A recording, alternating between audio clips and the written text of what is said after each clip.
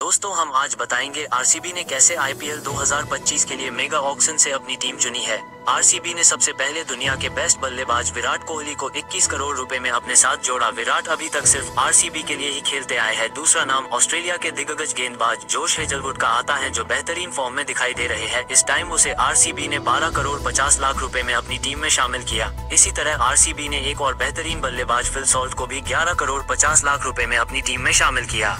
RCB ने रजत पाटीदार को भी 11 करोड़ रुपए खर्च करके अपनी टीम में शामिल कर लिया। आरसीबी ने विकेट कीपर के रूप में जितेश शर्मा को 11 करोड़ रुपए में खरीदा, जो बल्लेबाज भी है। मिडिल ऑर्डर को मज़बूत बनाने के लिए आरसीबी ने दुनिया के बेहतरीन ऑलराउंडर लियाम लिविंगस्टोन को भी 8 करोड़ पचहत्तर लाख रुपए में अपनी टीम में शामिल कर लिया। फिर 5 करोड़ में भारत के तेज गेंदबाज यश दयाल को भी आरसीबी ने अपनी टीम में जोड़ लिया। आरसीबी ने एक और बेहतरीन तेज गेंदबाज रसिक सलाम को भी छह करोड़ रूपए में अपनी टीम में शामिल कर लिया।